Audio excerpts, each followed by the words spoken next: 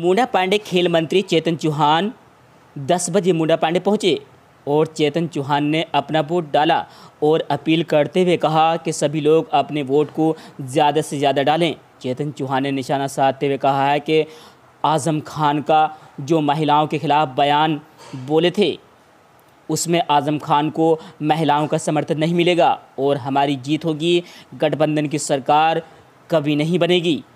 हमारी सरकार गरीब, बेसहारा महिलाओं की इज़्ज़त करने वाली सरकार है।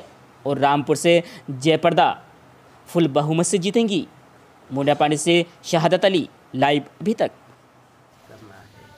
कोई धर्म के आधार पर, पंथ के आधार पर, जाति के आधार पर कोई भी पीछे नहीं रहना चाहिए। हमको सबका विकास करना है। ये बहुत बड़ी बातें कर रहे हैं। दूसरी तरफ़ लोग ये कह रहे हैं कि नहीं आप ये धर्म के लोग जो हैं वो अपनी वोटें न बांटो और एक तरफा होकर मिलकर पूरी आप वोट डालिएगा।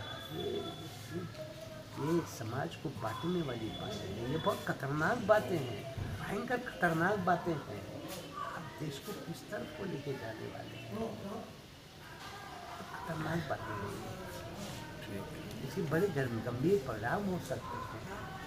इसमें विभाजन हो जाएगा मोहल्लों मोहल्लों में विभाजन हो जाएगा। गाँव में विभाजन हो जाएगा, शहरों में विभाजन हो जाएगा, जिलों में विभाजन हो जाएगा। इसके आधार पर। और ये और ये मामला, मैं तो मैं तो लोगों से अपील यही करूँगा कि चुनाव खत्म होने के बाद इसको भूल जाए। क्योंकि अगर मन में ही लोगों ने रख लिया, कुछ लोग रख भी सकते हैं। इसको रख लिया तो टकराव होगा। ठीक सर। समाज में टकराव होगा।